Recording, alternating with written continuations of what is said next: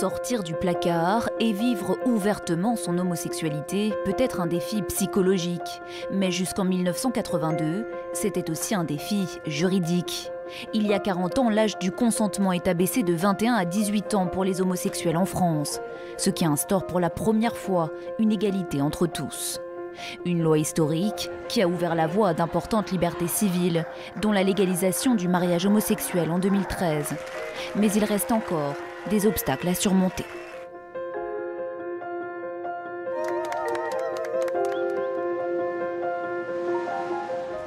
Bonjour à tous et bienvenue dans ce nouveau numéro de C'est en France. Aujourd'hui, on s'intéresse à l'avancée des droits des gays et des lesbiennes dans l'Hexagone. Comment ont-ils évolué? Que reste-t-il à faire pour plus d'égalité? Nous irons à la rencontre de ceux qui font bouger les lignes. Mais avant, je vous propose de plonger dans l'histoire avec un homme, Bernard Bousset. C'est un Français qui a connu la prison à cause de son homosexualité. Florence Gaillard l'a rencontré.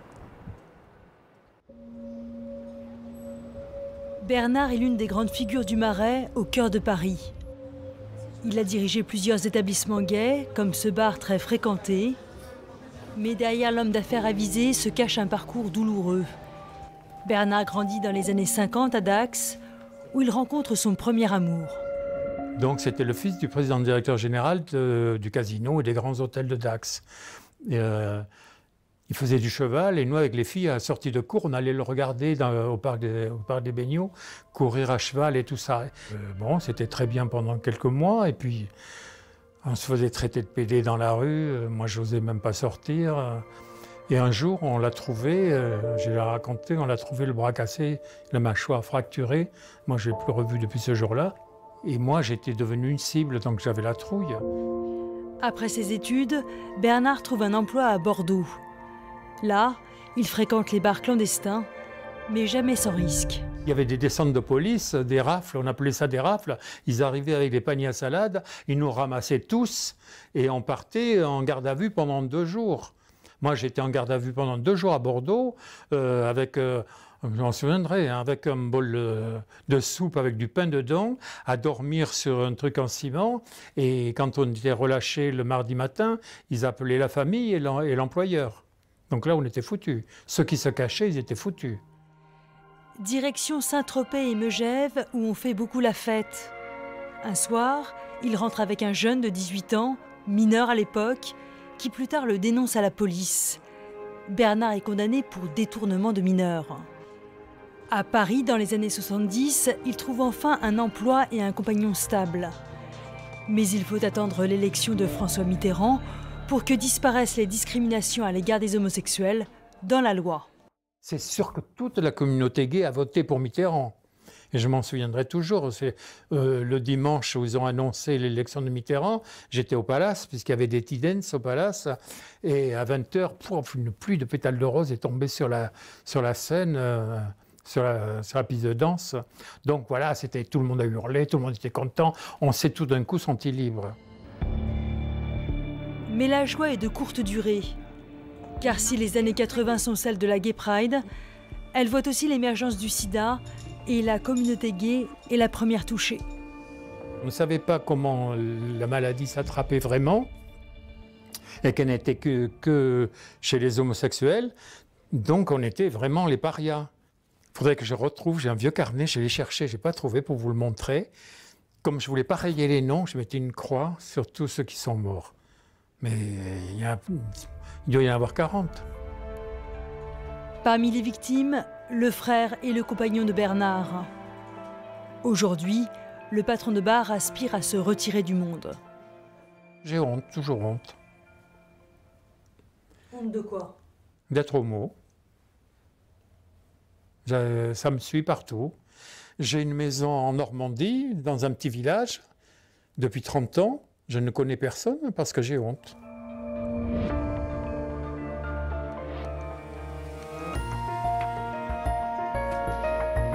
Les droits progressent, mais pas aussi vite que les mentalités.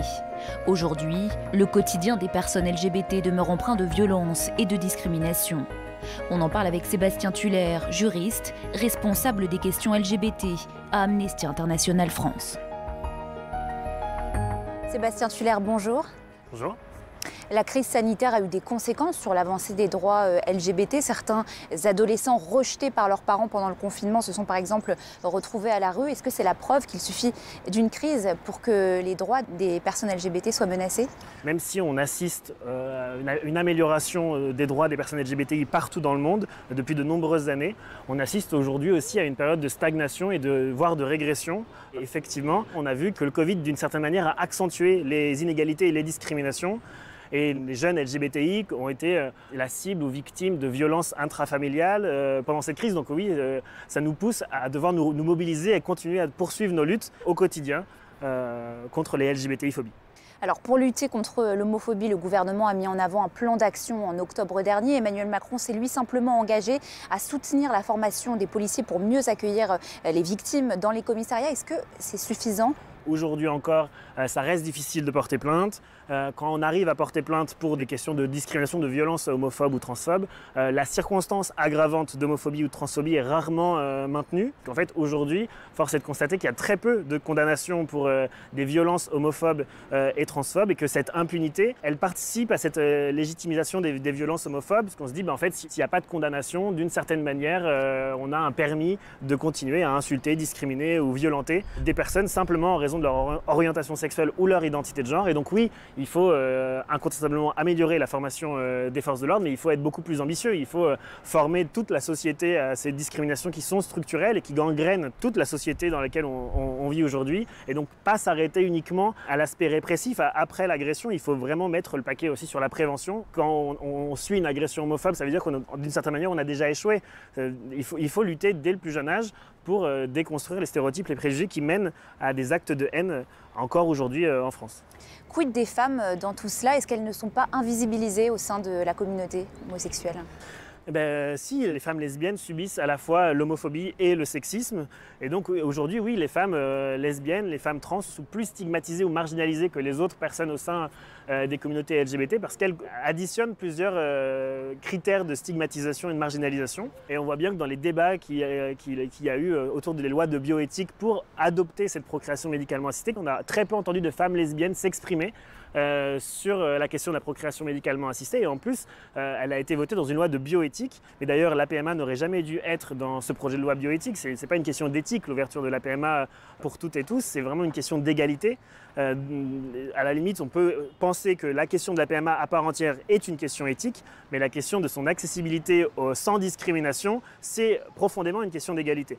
Et donc, on aurait dû déjà obtenir un projet de loi beaucoup plus ambitieux qui autorise les hommes trans à accéder à la PMA, qui mettent en place euh, une filiation sans discrimination, la même que pour les couples hétérosexuels, et on n'y est pas arrivé. Les discriminations, ça commence aussi à l'école. Faut-il voir dans les réseaux sociaux un outil ou bien plutôt un ennemi pour lutter contre l'homophobie?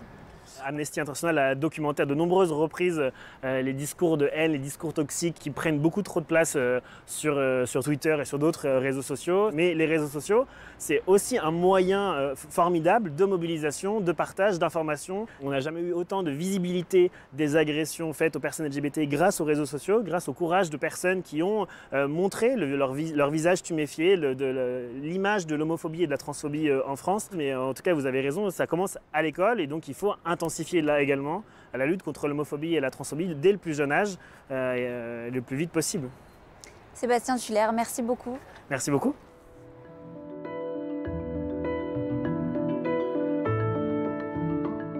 Maintenant à Clermont-Ferrand, dans le centre de la France, à la rencontre d'un professeur de physique-chimie au lycée, Timothée Curado. C'est son nom. Il a 950 000 abonnés sur TikTok, une plateforme qu'il utilise pour raconter son quotidien, mais aussi, vous le verrez, pour aider les jeunes qui s'interrogent sur leur orientation sexuelle. Regardez.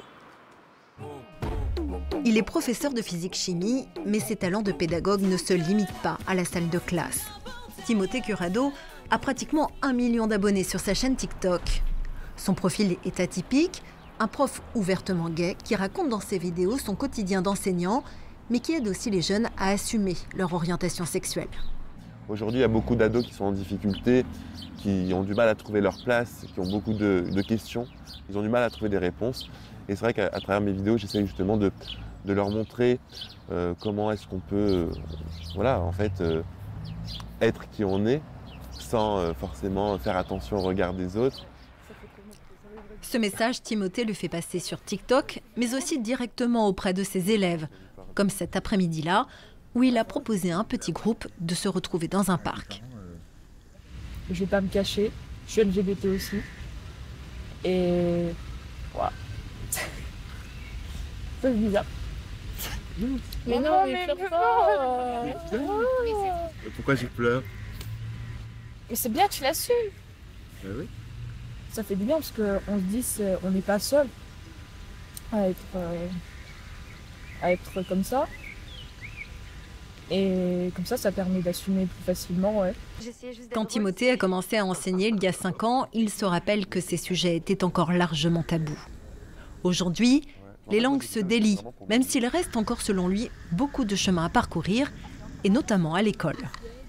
J'ai un élève qui est venu me voir et qui m'a demandé conseil aussi par rapport à ça, qu'il n'arrivait pas à en parler à ses parents. Je lui avais donné des, petits conseils euh, sur euh, d'abord bien en parler à ses amis, euh, parce que je sais parfois que dans le milieu familial, c'est pas toujours évident. Je pense que l'école, justement, ça va être le milieu où on doit se sentir le plus à l'aise. À la fin de l'année, il y avait un élève qui était venu me voir et qui m'a dit merci, parce que je vous suis sur les réseaux et quand je vois ce que vous faites, ben, ça m'a vraiment aidé à m'assumer. Et aujourd'hui, je me sens je me sens bien mieux dans ma peau. Si Timothée va continuer à faire vivre son compte TikTok, il travaille aussi avec des associations locales pour monter un projet et lutter contre les discriminations envers les LGBT.